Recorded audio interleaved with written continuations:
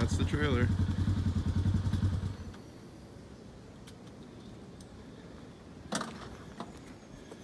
All right, Dad. It's time to talk about your trailer. Well, came out of necessity way back. Geez, in the early 90s, we used to do trips with a canoe, put wheels on the canoe, and it would just collapse and break down.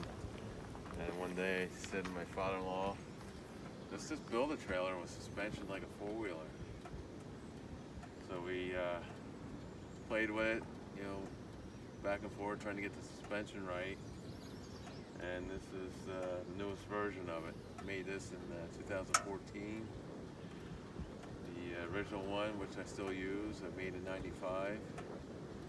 Basically the same, it's just this one's more narrow, so it fits on the snowmobile bridges. Handles like a dream. I can basically go as fast as I want, hauling all my camping and fishing gear.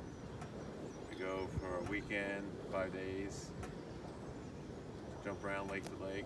It's a real blast.